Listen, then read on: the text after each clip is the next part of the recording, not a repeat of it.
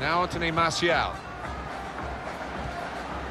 Moving the opposition around with their play, these two players.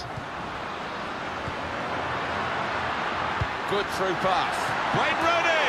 First goal in our final today. Oh, didn't he take it? Well, he's got to be delighted to produce on a big stage like that.